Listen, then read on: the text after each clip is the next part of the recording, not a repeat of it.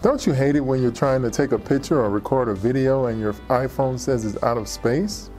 This is Craig from Clark.com, and I'm going to show you some easy steps to free up storage space on your iPhone.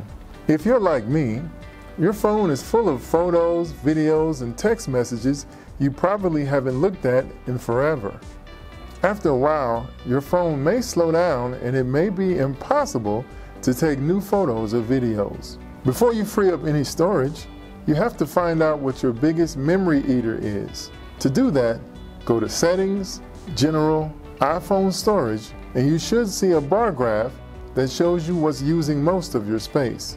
Now that you know what's taking over your storage, here are seven ways you can create more space on your iPhone.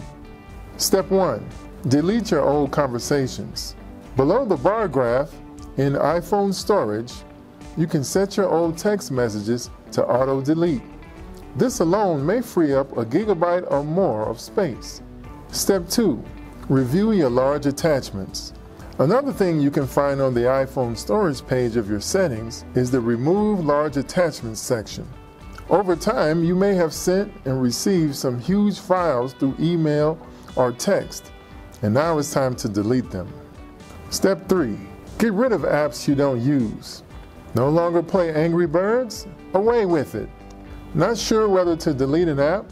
Scroll down in the iPhone storage settings to see the last time you've actually used it. If you find other apps you no longer use, scroll, delete, and repeat. Step 4. Turn to the cloud. Your iPhone's iCloud account comes with 5 gigabytes of free space. Upload your files to the cloud to save a little more storage on your phone. If you've already managed to use the 5 gigs of free space on your iCloud, you can use another free cloud account like Dropbox, Google Drive, or OneDrive. Step 5. Transfer files to a computer. One of the easiest ways to free up space on your iPhone is to hook it up to a computer and upload your files there. You can use a USB cord to make a connection and transfer your files over to your computer. Step 6. Manage your photos. The iPhone has several options to manage your pictures. You can either choose to automatically upload pictures to iCloud, remove them from your phone, or downsize them to a lower resolution. To manage photos, go to Settings, Photos. From there, you'll see the option to 1. Stop automatic photo uploads to iCloud. 2. Remove photos and videos. 3.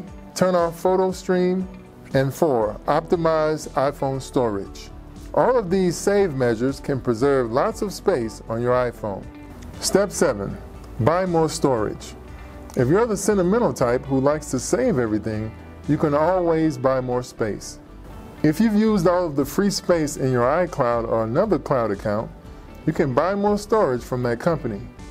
Then you can sync your device to free up space on your phone. By doing all the steps or sticking to a few, you'll be surprised by how much storage you can regain on your iPhone. What do you do to save space on your phone? Let us know about your data saving techniques in the comments. And subscribe to our YouTube channel and watch our other videos to learn more.